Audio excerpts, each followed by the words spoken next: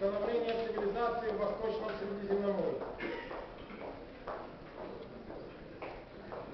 Второе. Восточное Средиземноморье в третьем-втором тысячелетиях до нашей эры. В третьем-втором тысячелетиях до нашей эры. Третье. Древнеизраильское царство.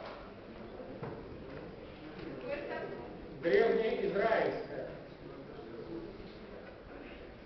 Четвертый – Финикия.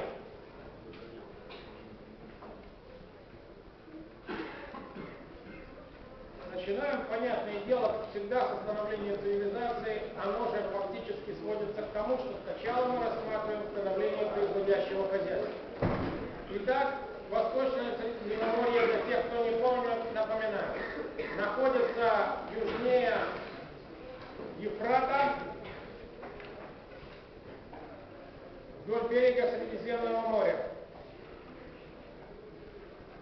Ну, соответственно, восточная граница тоже Ефрат. С юга ограничена Аравией и Египтом. Область входит состав Передней Азии как периферия и заодно, как вы, наверное, помните, входит благородный полумесяц. А это значит, что здесь находятся древнейшие центры земледелия. Так оно и есть. Первые подозрения на земледелие у ученых датируются концом 9 тысячелетия до нашей эры, то есть немногим позже, чем в Малой Азии.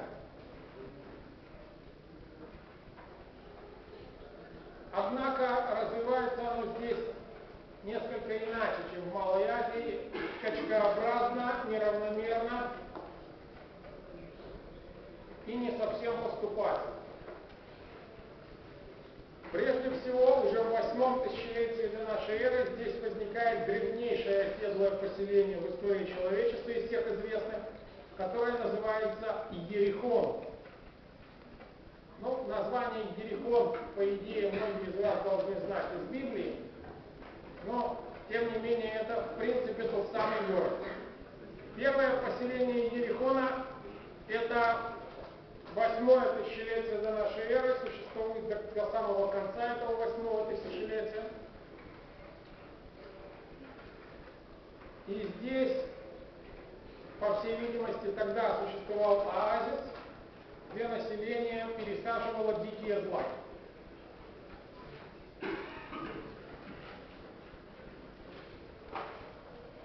Первый период существования поселения скорее напоминает переходную фазу оседлого образа жизни. У него нет еще очерченных границ, нет никаких признаков закрепления на этой территории, нет никаких долговременных сооружений. Понятное дело, люди просто присматривались к месту. Однако присмотрелись и в конце восьмого тысячелетия впервые в истории человечества появляется здесь укрепленное поселение. А именно, вокруг поселения сооружается защитная стена из камня. Толщина примерно 3 метра, высота примерно 4 метра. В стене примыкает каменная башня. Диаметр башни примерно 10 метров, высота 8,5 метров. На вершину башни ведет лестница из 22 ступеней. Ну, мне трудно посчитать, что при такой высоте 22 ступени, это ступени совсем не низкие, не совсем обычные в нашем понимании ступени. Зачем нужно было в столь раннее время укреплять поселение, не совсем ясно. Но еще раз вам напомню, что подробные археологические работы в последнее время здесь не ведутся по известным причинам. Я надеюсь, что эти причины вы все помните. Для тех, кто совсем ничего не знает, сообщаю, что Ерихон это фактически западный берег реки Иордан.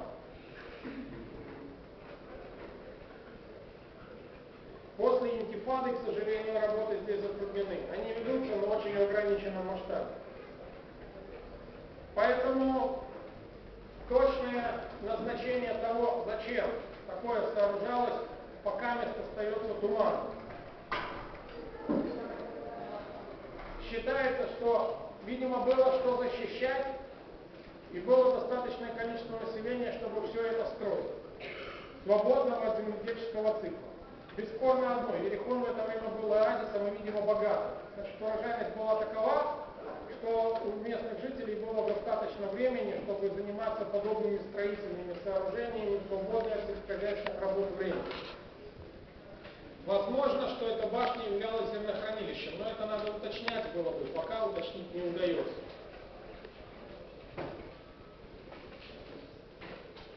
Известно, что с седьмого тысячелетия Иерихон это земледельческое поселение.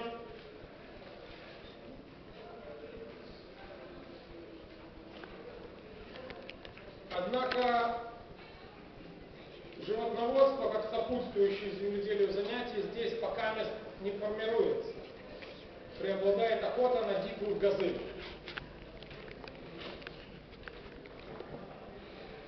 В конце восьмого тысячелетия в регионе возникает еще несколько поселений, значительно меньших по своему размеру, но напоминающих Ерехон по форме ведения хозяйства. Это Мюлибит на Ефрате,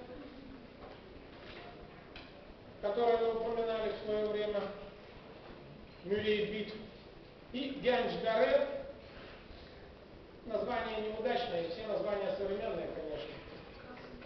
Гянч-Гаре.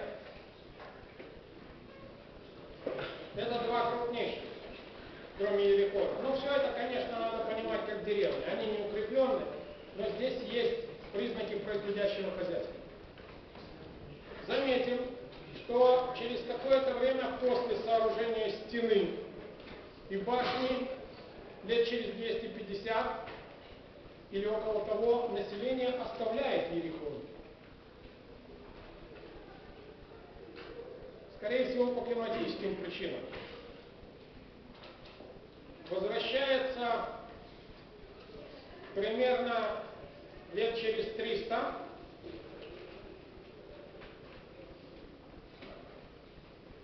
то есть ближе к середине седьмого тысячелетия до нашей эры и существует в неизменном виде до конца седьмого тысячелетия до нашей эры, когда происходит очередная климатическая флуктуация, и, по всей видимости, опять изгоняет население из оазиса. Отметим, что прежде чем население все-таки покинуло Ерихон, оно попыталось создать оросительное сооружение. Причем, в отличие от других регионов, оросительные сооружения здесь были привязаны к местным не то колодцам, не то каким-то естественным водоемам. Вот что тут неоткуда брать Не помогло понятное дело. Но попытка соорудить оросительную систему в седьмом тысячелетии, это, пожалуй, одна из двух первых попыток человечества. Одна была сделана в Индии, а вторая вот здесь.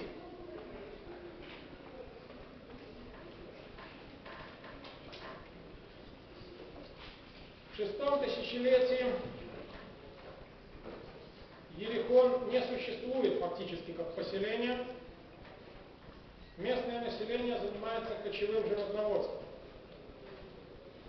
А земледельцы уходят в Северную Сирию, где формируется новая зона земледелия,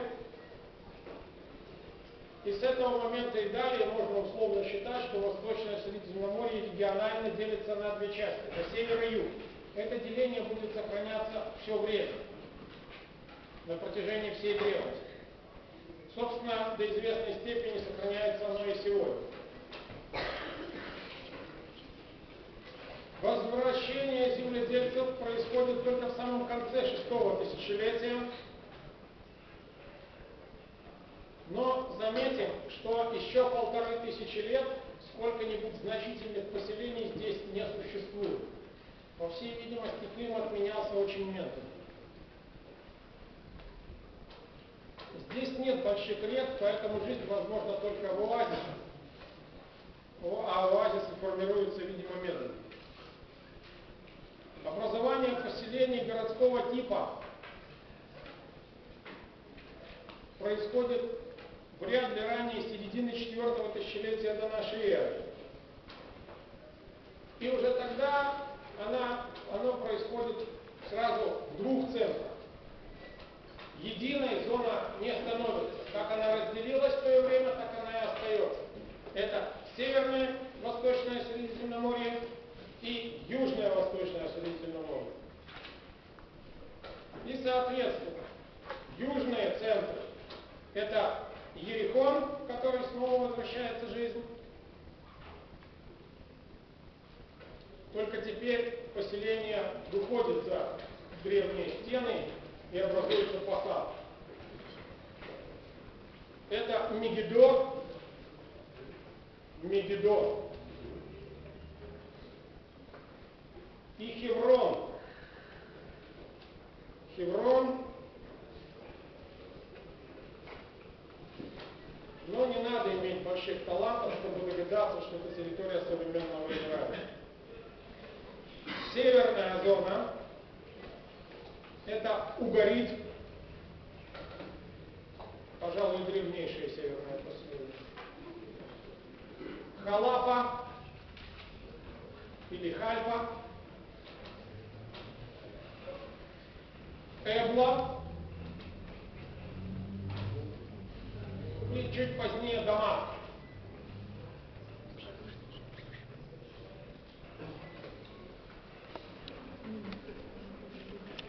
Так эти два центра и будут развиваться автономно.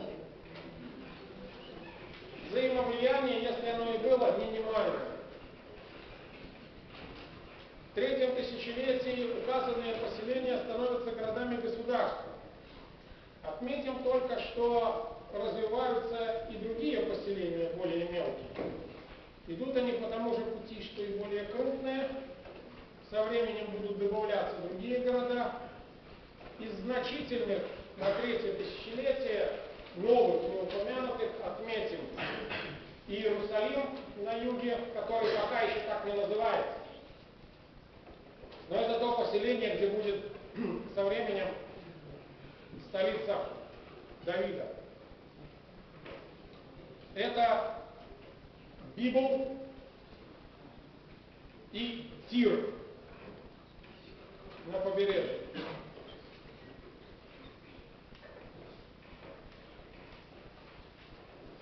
В это же время формируется известная хозяйственная специализация этих регионов. В них все более и более значительную роль начинает играть ремесло, а за ним и торговля. Что интересно, развитие этих городов на основе земледелия очень-очень ограничено. И пока не возникло возможности развития ремесла и торговли, то есть пока не появился спрос на местные товары, за пределами региона развитие городов фактически вперед не шло далее, чем образование крупных поселений. С этого момента и дальше фактически все хозяйственное развитие будет строиться за счет ремесленников и прежде всего торговцев. Причем заметим, что несмотря на довольно значительные производственные возможности этих городов, потребление почти всегда превышает спрос, поскольку потребителями являются иностранные покупатели. Прежде всего Египет, основной торговый партнер. Строго говоря, считается, что появление Бигла и Тира есть прямой ответ на потребность установления морского торгового пути в Египет. Известно, что уже в третьем тысячелетии до нашей эры существовала устойчивая морская торговля с Египтом. Если к этому добавим еще Малую Азию с ее металлами и формирующуюся мощную месопотамскую инфраструктуру во главе со своими значительными городами и большими аппетитами местных правителей, то мы получим с вами доминанты, которые будут являться основанием развития этих городов-государств. Отметим еще одну специфику. практически на протяжении всей истории Восточного Средиземноморья тут не сложится крупного государства, а те, что будут складываться, будут существовать недолго и не являться значительной политической силой.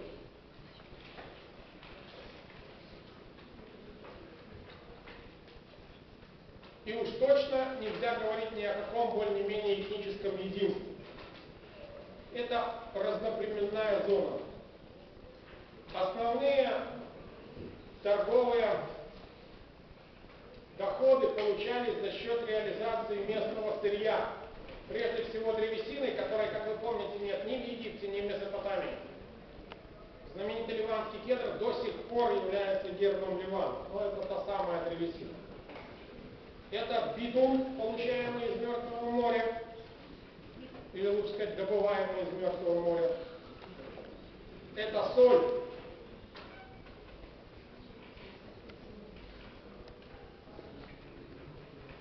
Если к этому добавить ремесленные изделия, то вы получите фактически весь торговый перечень экспорта. Ну, а импорт очень просто установить это продовольствие и металлы. Причем торговая сальдо уже в третьем тысячелетии положительная, что, разумеется, ведет к развитию. Отметим, что два региона в истории известны под разными названиями, как только появляются письменные свидетельства. Юг традиционно называется Ханааном, Ханаан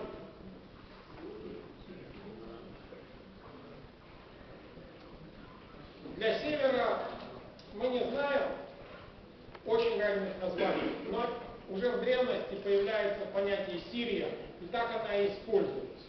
В свое время даже была попытка образовать всю северную, на всю северную территорию единое государство, сирийское царство. Правда, неудачное, разгромленное сирийцами. Итак, два региона развиваются за счет торговли. Главный караванный путь Египет Малая Азия. Есть сухопутный вариант и есть морской.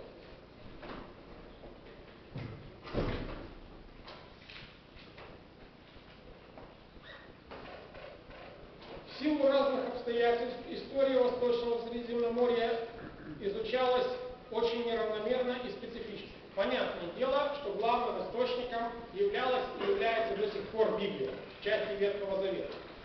Однако, в силу того, что Библия имеет специфическое понимание начала времен, помните, сотворение мира и дальнейшее развитие, третье тысячелетие Библии изложено совсем не так, как мы могли бы его изучать или, вернее сказать, ничего общего с историей фактически не имеющие, потому что я вам напоминаю, что середина третьего тысячелетия Библии это потоп. Ну, потоп не потоп, а Восточное Средиземноморье в третьем тысячелетии не топило. Это мы знаем точно.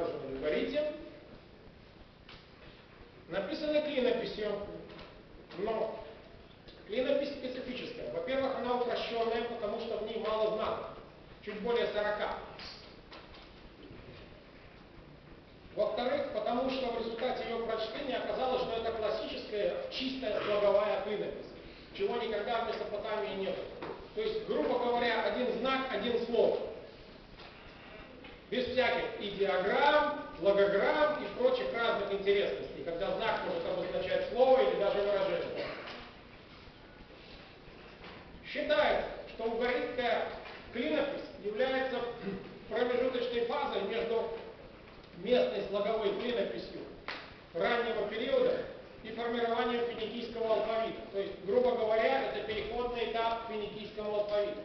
Правда, процесс этот не линейный и не такой простой, но тем не менее сам факт существования говорит о том, что здесь переход на слоговое письмо осуществился уже во втором тысячелетии до нашей эры в полном объеме. И все было бы хорошо, если бы в 70-е годы не нашли архив Эблы. Нашли итальянцы в огромном количестве в развалинах древней Эблы случайно обнаружены итальянскими археологами, искали совсем другое, конечно, как обычно. Был обнаружен архив примерно в 100 тысяч таблиц, написанных клинописью в основном это клинопись местного происхождения, читается крайне сложно. Язык, на котором написано большинство табличек, называется эблаид.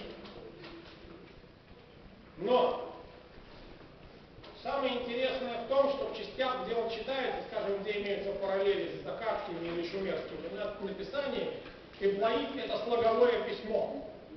Отсюда, кстати говоря, теория о том, что акадский язык все-таки в части письменности это результат деятельности Иблаиша. После разгрома Саргоном Акадским древней Эблы, он, по всей видимости, угнал часть специалистов по клинописи к себе, и именно они стандартизировали акадскую клинопись, то есть построили шумерскую клинопись под акадскую. Это такая теория, я вам ее напоминаю, я про нее говорил. Так или иначе заметьте, что слоговое письмо Эблаид гораздо ближе чистому слоговому письму, классическому, чем шумерская или акадская клинопись. Другой вопрос, что сам двоит нам плохо известен. Некоторые знаки, понятное дело, не читаются, потому что мы не имеем параллели. Существенно и то, что, как во всех слоговых видах письма, здесь фактически нет гласа. То есть, если в клинописи они еще более-менее фиксированы есть, хотя мы не знаем, как они их произносили, то дальше, как вы знаете, развитие местных алфавитов пойдет по пути полного отсутствия гласов на письме, за исключением в начале и до отдельно. В результате чего мы имеем длительную тенденцию формирования слоговой клинописи в чистом виде, независимой, во всяком случае, в том виде, в котором мы ее знаем, от шумерского. Правда в том, что эмплоидские таблицы прочитаны очень незначительном количестве. Если интересно, в Советском Союзе вышла по результатам итальянских исследований книжка, называется «Древняя Эбла». Можете почитать. С этого момента поезд не сильно сдвинулся вперед. Эбла находится на территории современной Сирии. Уж не знаю, знаете вы или нет, вот для крупных научных центров эта страна является в известной степени закрытой. Единственной крупной научной страной, которая могла там вести раскопки практически беспрепятственно, был Советский Союз. После его распада этот вопрос повис, потому как Россия не имеет средств, а что касается Соединенных Штатов Америки, Великобритании и Франции, то сирийцы не очень хотят их там видеть. Так что регион снова остается в известной степени неисследованным, и приоритет принадлежит итальянцам, к которым сирийцы относятся терпимо. Вот фактически архив Эблы и есть главное источник главный источник по библейскому знанию Восточного Средиземноморья. Поскольку прочитано там немногое, мы немного и знаем о третьем тысячелетии, кроме того, что Эбла являлась фактически главным караванным центром в регионе, соединяющем Восточное Средиземноморье, Малую Азию и Северное Междуречье. Были у Эбла контакты и с Шумером. Как я уже говорил, мы имеем там несколько упоминаний имен шумерских царей династии Лука, в частности. Другое дело второе тысячелетие. Второе тысячелетие – это фактически начало периода несамостоятельного существования Восточного. При всем своем богатстве политический вес городов-государств Восточного Средиземноморья был, конечно, невелик. И не могли они ни военным, ни экономическим путем противостоять ни Египту, ни Месопотамии. Поэтому получилось то, что получилось. Первой страной, которая всерьез заинтересовалась восточно-средиземноморскими богатствами с целью постановки их под свой контроль, стал Египет. Примерно в то же время, что египтяне с севера восточным Средиземноморьем заинтересовались, заинтересовались хеты, сильная держава в Малой Азии. Однако хеты в силу своих причин не могли непосредственно интересоваться Восточным Средиземноморьем до тех пор, пока между ними и Восточным Средиземноморьем существовало другое государство, происхождения Кавказского, скорее всего, под названием Метани, государство Уритов. Метаницы жили по обе стороны Ефрата. То есть в Северном Восточном Средиземноморье, то есть в Северной Сирии и в Северном Междуречье. Государство Метани не являлось полностью чужеземным для жителей Восточного Средиземноморья, поскольку куриты фактически были местным населением. Они в известной степени сдерживали иноземное присутствие здесь.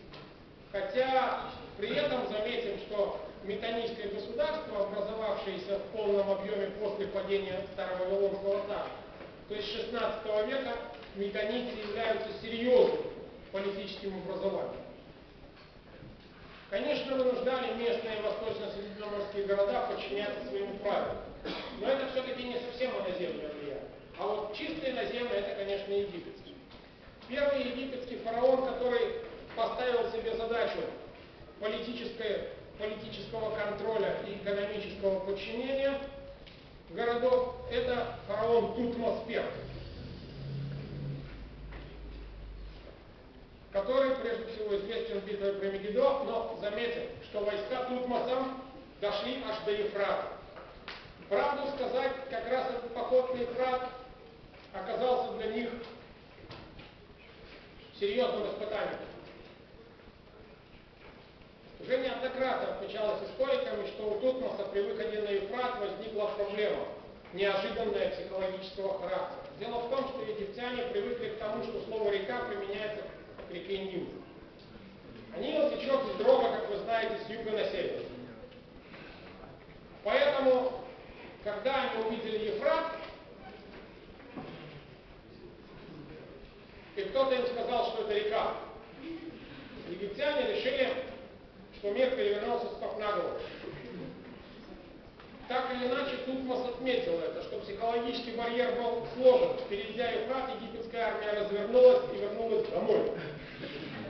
Но, тем не менее, Восточному Средиземноморью от этого не легче. С этого момента, вероятно, начинается постепенное распространение восточно-средиземноморских народов в Египте. То ли они уводились силой, то ли часть из них уходила за египетской армией, то ли это сезонные какие-то переходы возникали. Смысл в этом был. Оазисы местные все-таки не очень богаты. За исключением городов, все остальное население жило в проголодь. Отметим, что во втором тысячелетии существенной пропорцией является следующее. Согласно экономическим записям, рацион египетского раба богаче, чем рацион знатного племенного иудея. Так что вопрос продовольственный вполне серьезный. Ну, могли быть, конечно, и другие причины. Скажем, бег, бегство от кого-то в Египет, просьба о защите. Так или иначе, с этого момента появляются жители Восточного Средиземноморья в Египте. Правда, Библия называет это египетским пленом. Но если уж про плен, то говорить надо тогда не о Тутмосе первом, а про Тутмоса третьем. Вот этот фараон отличился не один раз побоищем всякого рода в Восточном Средиземноморье, самым известным из которых является, конечно, его проникновение за Ефрат. Впервые в истории египтяне решились совершить военные походы аж за Ефрат, закрыв фактически всем Восточное Средиземноморье. Вот с этого момента, надо думать, существует направленный поток определенного рода ремесленников, прежде всего, в Египет.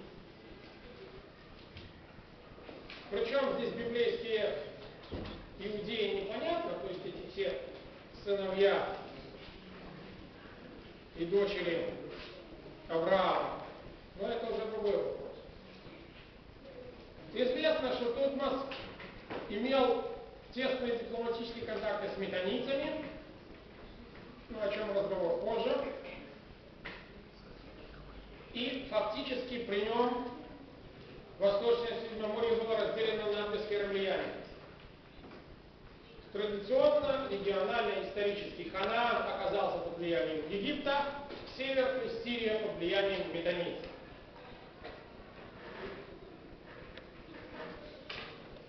После исчезновения метанийцев по причинам, которые вам придется изучать самим. Это второе тысячелетие Месопотамии. Их место в Северном Средиземноморье наконец-то занимают хеты. И начинается длительное египетско-хетское противостояние. И снова история Восточного Средиземноморья выглядит следующим образом. Города занимаются исключительно лавированием между политическими силами. При том, что остаются достаточно богаты. Я уже говорил, Египту они относились специфически. Длительное египетское влияние достаточно положительно сказывалось на развитии городов, особенно их элит. Египтяне не устроили показательных разгромов, но за исключением, может быть, крепости Мегидо. Да и то это, скорее исключение из правил. И дань, которую они налагали, была не очень тяжелой. Хеты другое дело, хеты занимались грабежами. Но, правда, хеты, в отличие от египтян, не оставляли, как правило, постоянных гарнизонов, за исключением некоторых крепостей важных, э, стратегически, которые закрывали караванные пути. Ну, то есть просто шлагбаум. Крупнейший столкновение египтян с хетами в Восточном Средиземноморье, это, конечно, битва при Кадеше. Кадеш – это Сирия, фактически на полпути из Малой Азии в Египет. Армия Рамзеса II встретилась с армией Муатариса. Неважно, как его зовут, это уже вопрос другой, это мы будем разбирать в другом месте в другое время. Так или иначе, отметим, что по итогам этого, этой битвы и дальнейших переговоров заключен мирный договор с разделом сфер влияния и опять север оказался у хетов, юг оказался у египтян. Однако с середины второго тысячелетия меняется этническое состояние региона. К местному населению добавляются сразу несколько волн пришлых. Прежде всего, это первая волна из Арамии, которая называется иногда первая арамейская волна. Арамей. Большой конгломерат из Северной Аравии, распространившийся аж до Ефрата в первую, в первой волне. В составе арамеев в это время, вероятно, были те самые сунтии, которые являются предками евреев, в том числе.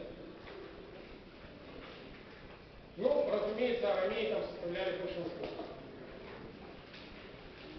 За этим последует еще в 13-12 веках начавшаяся вторая волна арамеев, которая, как вы помните, дошла аж до самого южного междуречия из которой ассирийцы успешно боролись до такой степени, что усилились до невозможности им противостоять всем остальным. В результате сложился большой конгломерат западносемитских народов, которые, в отличие от местного населения, занимались в основном кочевым животноводством по оазисам. Там даже на какое-то время сложилось очень специфическое государство, которое называется Амуру, в стиле Северной Междуречия.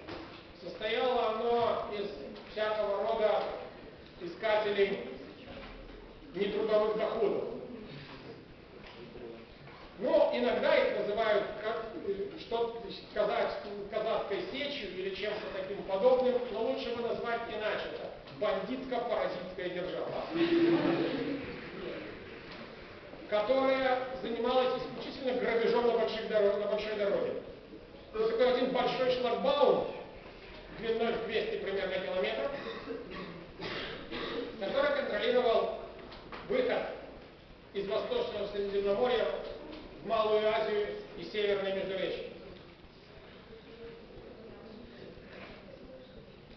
В этом государстве земледелием не занимался никто, кроме покоренного местного населения, платившего даль. Вот такие были интересные образования. Но, впрочем, это не имело большого политического значения по причине того, что в конце второго тысячелетия, ближе к концу, здесь появляется новая волна этническая, которая называется «Народы моря».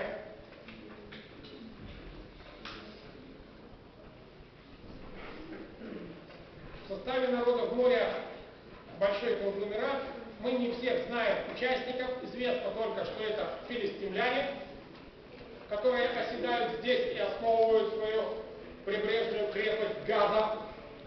Сказать правду, филистимляне, когда высадились, тоже не собирались заниматься никаким земледелием.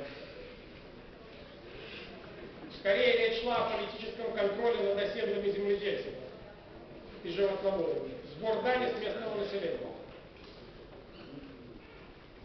Но сильная морская крепость газа могла себе это позволить. Кроме того, это ахейцы, правда, ахейцы высадились не здесь, а в Малой Азии. В конце концов, сказать правду, народы моря нанесли чувствительное поражение всем и потревожили нервы всех региональных сил. Они уничтожили Хетское царство. Они, по всей видимости, имеют прямое отношение к троянским войнам. С ними сражался фараон Рамзес III и за победу, за отражение, вернее, напасти народов моря, стал последним великим фараоном Египта. Он не имеет больших заслуг за пределами Египта, но за отражение народов моря египтяне записали его великие фараоны. Сказать правду, Египет единственная держава, которая от них отбилась в чистом виде. А в Восточном Средиземноморье народы моря, по всей видимости, смешались местным городским населением, прежде всего прибрежных городов, там, где они не основывали свои, добавив к этой пестроте еще и, своей. Строго говоря, с этого момента мы имеем дело с таким образованием, как Финикия.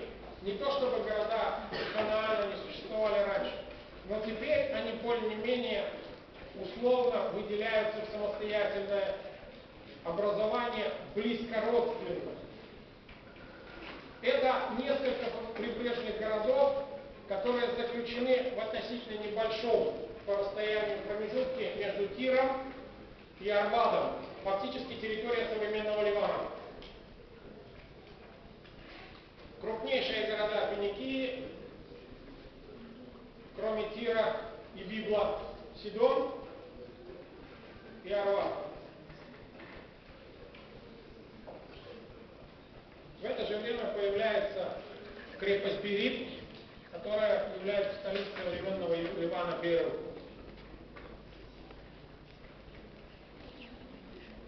Образование этнической карты завершается тем, что где-то в конце первого, второго тысячелетия до нашей эры в регион возвращаются из Египта, согласно Библии, евреи, которых Моисей выводит из египетского плена.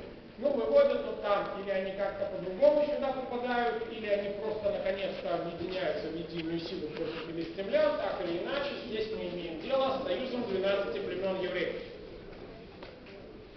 Происхождение названия еврей обычно понимается довольно линейно и не так трудно. Другой вопрос, из кого это состояние. Слово «эбри» двухсложное.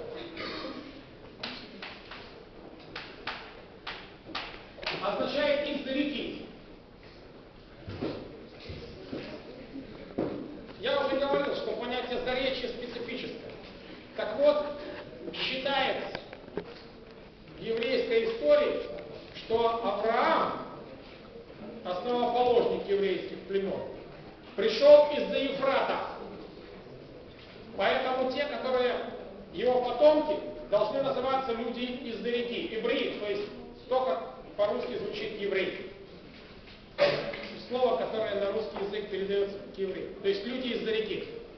Однако, помним еще и о том, что если это слово применялось людьми из Междуречия, то тогда оно будет обозначать из-за реки только с западной стороны. То есть те, которые живут западнее Ефрата, люди из Заречья. Так что это не совсем этноним, или лучше сказать, совсем не этноним. Другой вопрос, что у евреев есть другие критерии, которые сформировались в древности. Вот их мы сейчас будем рассматривать. Поскольку мы вплотную подходим к вопросу об образовании древнеизраильского государства. После того, как образовалась мощная крепость Газа и укрепились финикийские города,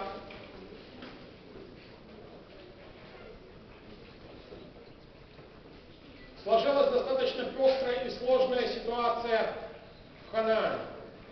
С одной стороны, это сильные крепости, которые являются городами-государствами, но которые, кроме ремесла и торговли, больше ничем не занимаются, поскольку охранять посевы у них сил нет. Это Газа, филистимляне, которые ведут, в общем-то, грабительскую политику по отношению к соседям. И это довольно значительное количество кочевников, которые кочуют по оазисам Казапасы и Овцепасы, с которых все местные правители, имеющие силу, дерут шкуру в прямом и переносном смысле. К такому образованию являются и относятся 12 колен Израиля, которые все происходят от Авраама. Человека, с которым Бог, согласно их представлениям, заключил завет. И сообщил, что потомки твои должны почитать меня, и я их буду всячески защищать, помогать им развиваться, да умножится твоих, твое потомство. Таким образом. Потомки Авраама, которые ведут свое происхождение там от Израиля, прямого потомка Авраама, называются коленами Израиля. Традиционно их 12. Однако, разумеется, даже Библия насчет 12 передает э, эти сведения специфически. Если вы будете считать по книге числа колена, то 12 вы не насчитаете. Будет цифра другая. Даже если вы учтете, что там написано полуколено, когда они там поделились между собой. Ну как бы там ни было, уже в период существования евреев вместе с филистимлянами в одной зоне, где, разумеется, евреи притеснялись филистимлянами, поскольку филистимляне их поджидали в оазисе, когда они туда приходили. Существовало довольно четкое деление. Большинство, самым многочисленным племенным союзом был союз происходящий от старшего колена Егуды, то есть колена Иуды. Точно сказать нельзя, но думается, что это примерно половина всех тех, кто называли себя коленами Израиля. Известно, кто был самым малочисленным и младшим коленом. Колено Бениамина или Беньямина. А остальные десять это среднее колено, примерно равное по численности. И, судя по тому, что сообщает Библия, постоянно заботившийся о том, чтобы им не село на голову колено Иуды.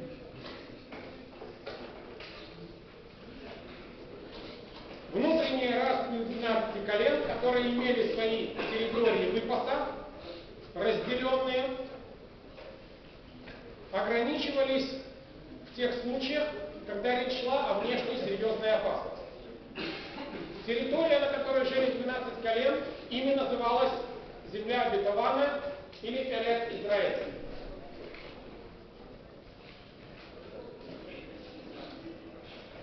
Евреи, согласно завету, не должны были думать о землях за пределами Эрет Израиль, это и должно быть достаточно, ибо так им указано. Но на этой Эрет Израиль существует одна проблема. Филистимляне постоянно туда вторгаются и пытаются евреев подчинить.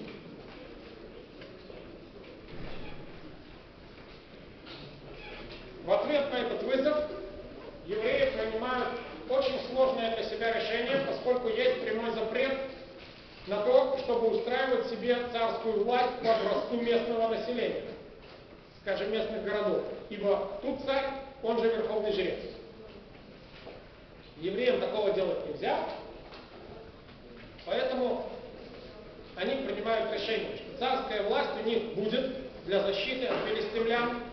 Она должна объединить всех евреев с одним условием. Царь не будет вмешиваться ни в какие дела, кроме военных. А чтобы он этого сделать не мог, нужно подобрать соответствующую кандидатуру. Понятное дело, что кандидатура эта будет подбираться Всевышним. Но так или иначе, Всевышний, конечно, мудр, но надо же это услышать. Там на это были специальные пророки. И приняли они решение, в общем, нетрудно догадаться, какое. Первым царем они избирают представителя младшего колена Бениамина. В этом случае понятно, что риск минимален. Царь из этого колена не сможет вмешиваться в племенные дела, ибо удел невест колена Беньямина никакой. Его задача воевать с филистимлянами.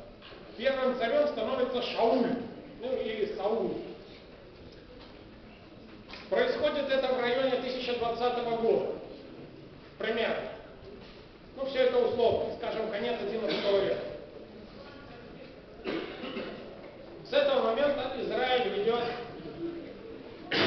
непрерывные систематические войны против филистимлян в объединенном формате. То есть 12 колен воюет под единым началом против филистимлян.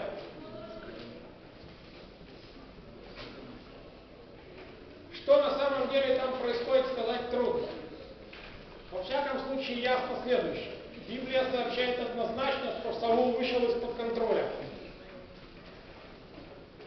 Но полагать, что Саул хотел стать во главе израильских племен, происходя из младшего колена Беньямина, не получается. Не настолько, что он был неграмотный, чтобы не понять, что на совете старейшин его даже слушать никто не будет. То есть, конечно, слушали, но если дело шло о военных делах. А если нет, то у него даже права голоса не было. Ну, что там было дальше, непонятно. Не то Саул обиделся на старейшин, не то старейшины подозревали, что у Саула чрезвычайно много лишних полномочий. Но так или иначе, Библия сообщает, что Господь покарал Саула и лишил его разума. Конце концов, дабы не возникало президента, все сыновья Саула погибли в битве с филистимлянами, которые, когда они попали в засаду, увидев это, Саул покончил с собой.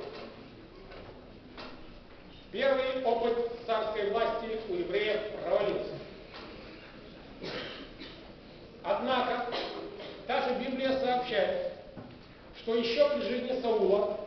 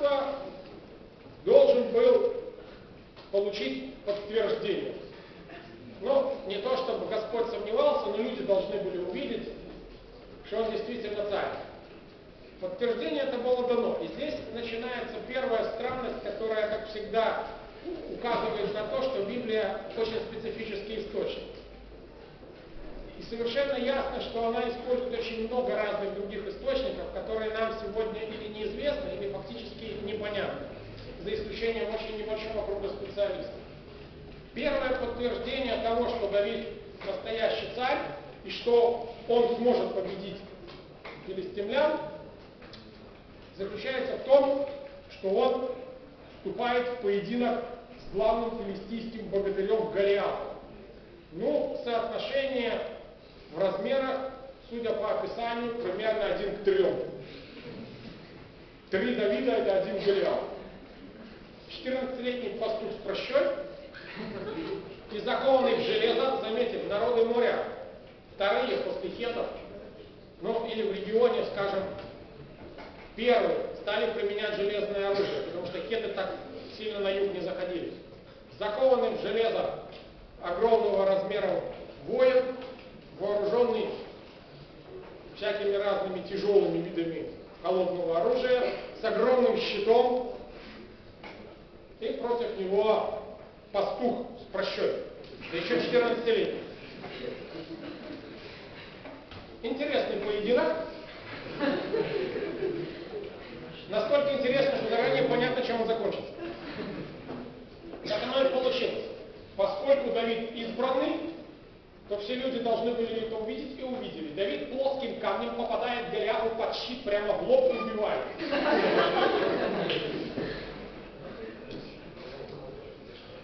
Но ничего такого особенного нет. Ну понятно, что помогает, не помогает, кто там все увидели, что вот герой национальный. Но что происходит дальше, совсем непонятно. Причем и сегодня это вопрос, который в еврейской истории объяснить никак не получается, они просто этим даже не занимаются. Лишний. Согласно сообщениям, Давид получает как победитель Голиафа его доспехи. Спрашиваю, что именно и зачем он получает? Ну, он, конечно, как доблестный, дисциплинированный иудей, приносит доспехи в шатер Саула, ну, доспехи достаются царю вроде бы, поскольку этот поединок привел к выигрышу битвы данной. Ну, царь, разумеется, отдает доспехи Давиду. Саул, хоть он и безумный, но не на такой же степени. Вот зачем они Давиду, совершенно непонятно. Если описание Голиафа соответствует чему-то вразумительному, то что с ним должен делать Давид, уже совершенно даже непонятно, как он вообще донес их до. Я думаю, что он даже бы их не снял, если уж так на то пошло. Но тем не менее, факт остается фактом. Ну, допустим, сняли, донесли. Ладно. Из тех доспехов Давид выбирает щит.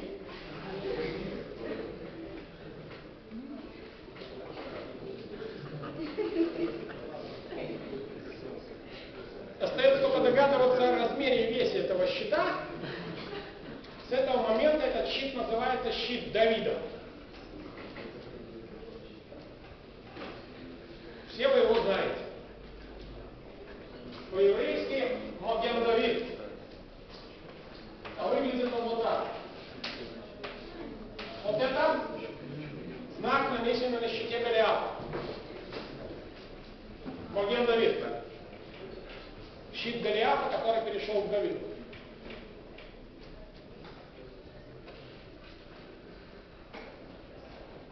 На прямой вопрос любой правоверный иудей, имеющий образование в области Танаха, вам скажет, что этот знак не еврейский, потому что он пришел от Голиафа. Ну, а щит Давида – это щит, имеющий чрезвычайные возможности. Какие именно иудейская традиция не объясняет, потому как отвечает, что это вопрос тайного знания, можно только мистически постичь. Но мистика тут действительно есть, но ее не так много. Знак очень просто раскладывается на два клинописных значка, которые очень хорошо известны в этом регионе. И не только из каппадокийского клинописного письма, а вообще хорошо известны. Эта буква есть даже в греческом, как дельта. Но этот знак имеет разные варианты написания,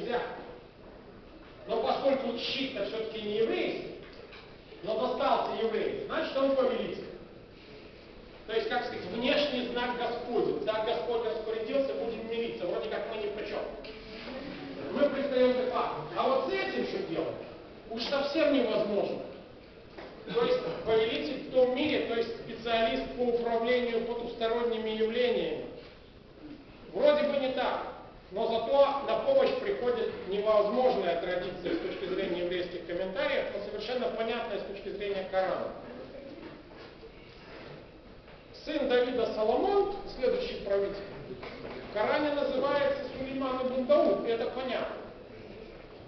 Соломон, сын Давида. А дальше именуется повелитель джинов. Это не просто так, так и есть. Действительно, он обладает и по описанию в Библии тоже. С этого момента и Давид, и Соломон обладают чрезвычайными возможностями предвидения, не будучи пророками. Мало того, у них какая-то немыслимая интуиция. Как будто они видят через время и пространство. Конечно, иудей скажет, что тут дело в мистике, и это вопрос специального учения, которое сложилось еще до появления евреев, частью которого является Каббала, еврейское мистическое учение. Обычно в связи с этим называют книга Зага, то есть, рассказывает про могилу мистический символ. Но тут мистики-то немного. То есть таким щитом Голиаф, по всей видимости, был уверен в своей непобедимости, ибо каждый, кто его видел, должен был понимать, что перед тобой человек, которого поддерживает этот мир и тот. Ну вот, в очередной раз единый Бог Иудея показался сильнее всех духов, защищающих Голиафа. Но после этого Давид получает этот щит, и с тех пор вот этот щит защищает народ Израиля. как вы знаете, он до сих пор является символом на еврейском флаге израильском. Маген Давид, щит Давид.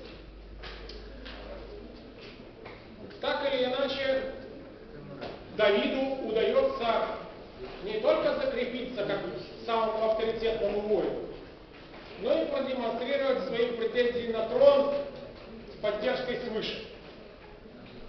Поэтому, когда Саул погибает, у евреев уже нет никаких сомнений, кто должен быть царем. Давид уже подрос и становится царем. С этого момента все становится на свои места. Старшее колено Иуды обретает царскую власть.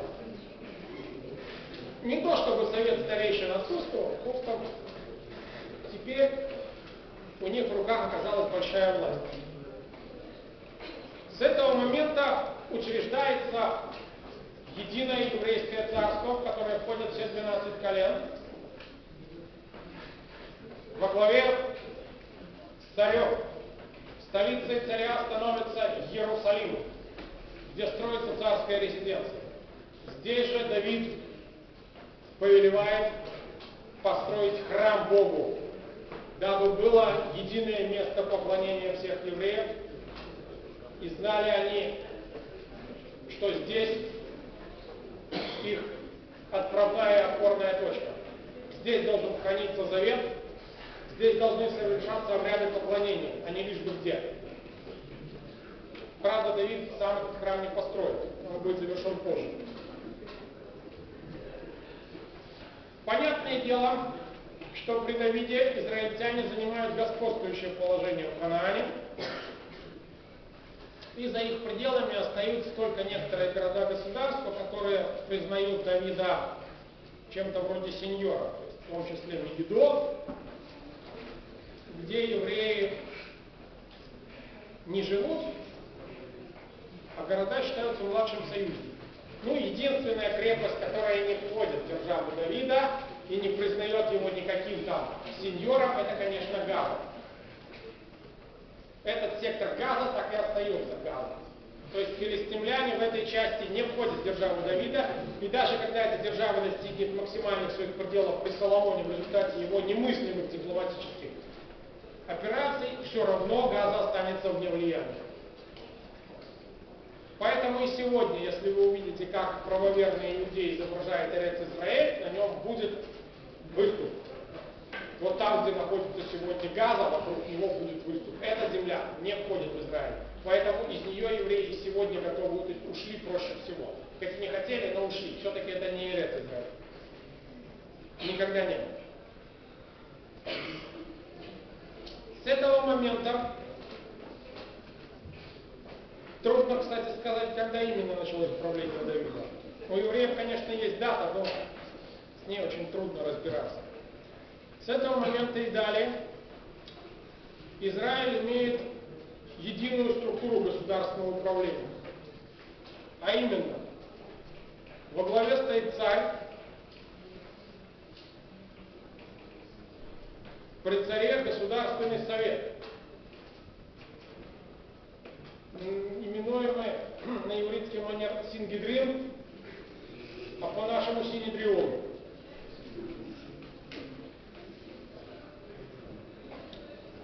Туда входят жрецы первой череды, то есть те, которые по рождению являются жрецами, хранителями еврейского завета, потомки Аарона прежде всего, из, колена, из полуколена Леви, левиты и Каг... Левиим и Каганим. Но лучше называть в обратную сторону. Каганим – верховные жрецы, Левиим – племенные жрецы. Далее идут всякие разные государственные чиновники и младшие жрецы, которые живут не в центре, а где-то там на пастбище. Далее идет народ Израиля, то есть 12 колен, Ну, а остальную часть населения составляют не евреи свободные. Это вот жители этих самых городов. Потом долговые рабы, временно утратившие статус. Ну и захваченные в плен военнопленные, чужие, рабы по жизни. классические рабы. Максимального расцвета это государство достигает при правлении младшего сына Давида Соломона. Младший сын оказался у власти потому, что старший сын погиб в результате мятежа против отца. А все остальные ушли в тень. Ну, кроме того, там была еще одна причина сверхъестественного характера, в результате которой Соломон рискованно не очень законно рожденный по еврейским правилам становится царем. Младший сын, младший сын Давида, да еще и к тому младшей жены. Но это не важно. Важно то, что старший сын в свое время поднял мятеж против отца, и отец, в отличие от э, своих коллег-царей, которые сразу пошли в атаку, применил гибкость. Он отступил, подождал, пока 10 колен успокоятся. Сын вошел в Иерусалим, сел на трон, объявил себя царем, в конце концов долго на троне не удержался, погиб. И все колена снова признали Давида. Ну так или иначе, максимального рассвета держава достигла при Соломоне, который был очень гибким дипломатом, в том числе через браки. В результате брачных отношений Соломон поставил под контроль весь Ханаан, кроме сектора Газа. И дошел аж до Южной Сирии.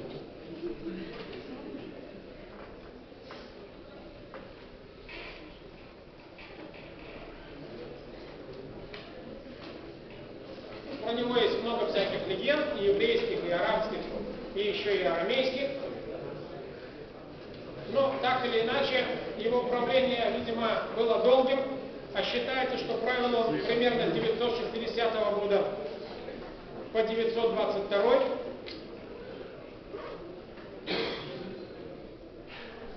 И привело к созданию храма. То есть при нем был построен храм, который будет именоваться храм Соломона. Тот самый, который разрушит Навуходоносор.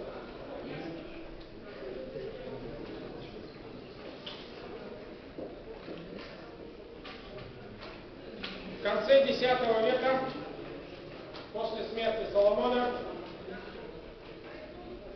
12 колен не смогли жить вместе и разделились на две неравные по количеству колен половины. Десять колен отошли от колена Иуды, но понятно почему много власти Иуда взял, то есть колено Иуды. Да, Из колена Иуды осталось только младшее колено Бениамина. Колено Иуды и Бениамина образовали Южное еврейское царство, называемое Иудея, в честь Иуды, со столицей в Иерусалиме. Остальные десять колен образовали Северное царство, именуемое Израиль, столица Шемрон или Самария. Но поскольку по всем правилам еврейским 10 колен было раскольниками, это ничего, что весь отряд шагает немного, зато поручик много. У колена Ягуды было право, остальные раскольники. Поэтому раскольники были наказаны в 721 году, как вы уже знаете, Израиль был уничтожен в результате деятельности ассирийских царей. Население депортированного с этого момента и далее 10 колен Израилевых в истории исчезают. Совсем. Остаются только два. Все остальные как не было. Согласно исследователям этого вопроса, некоторые считают, что останки этих, или все, что осталось от этих колен, будет называться народом земли. Но это во многом писано было невидимым. Ну, а Иудея, как вы помните, пала в результате деятельности Навуходоносора в 587 году, который разрушил храм который будет восстановлен только по приказу царя Кира Персидского. Правда, он будет восстановлен уже не Киром, а Дарием. Теперь мы рассмотрим, что в это время было в Финикии. Финикия не входила в сферу влияния израильтян, и несмотря на то, что с Израилем у них были хорошие отношения, особенно при Соломоне, финикийские города-государства, конечно, оставались независимыми. В начале первого тысячелетия они контролировали всю средиземноморскую торговлю,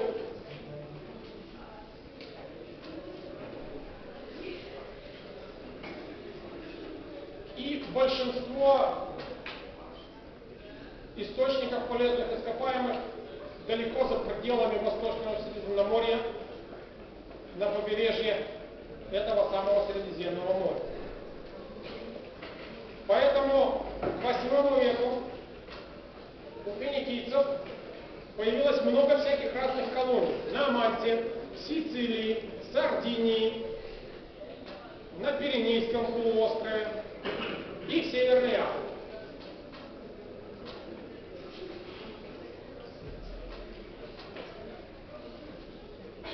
Колонии имели все крупные города. И Тир, и Библ, и Сидон, и Арвах. И даже была попытка Берику основать колонию. Правда, мы про них ничего толком не знаем. Главное противостояние за пределами Финикии – это борьба между Сидоном и Тиром.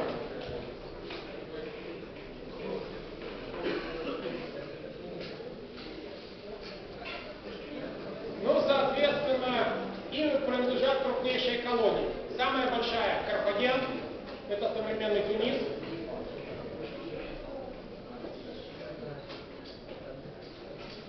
Здесь же на побережье Северной Африки, еще далее на запад, Кирена и Тенгиз, современный Танжер. Гадес, это современный Кадис, Испания. Картахена, это тоже Испания, новый Карфаген. Карфаген это само по себе переводится новый город. Ну а если уже новый новый город, так это что-то совсем сложное. Каларис, это Кальяри, Сардиния или Каларис.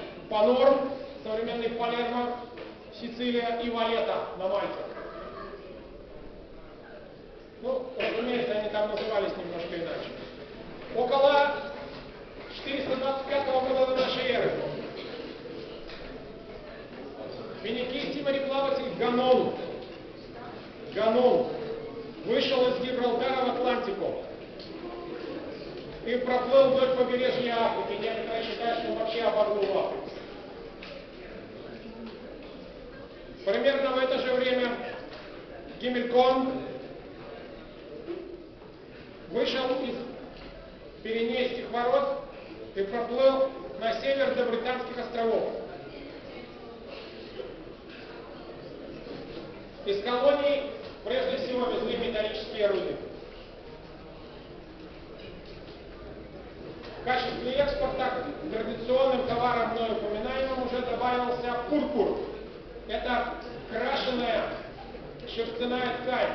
Как правило, у казахвасов покупали руно, его специальным образом стригли, ткали, потом красили соком раковины и глянки.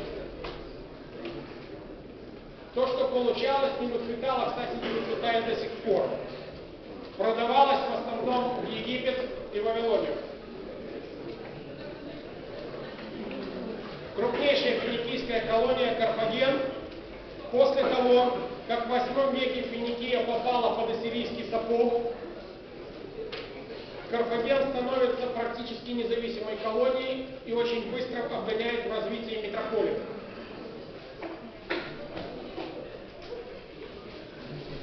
Финикийский флот остается сильнейшим в регионе, вплоть до пунических войн, когда конец господству Финикии в Средиземноморье положит Римская империя. Все на сегодня.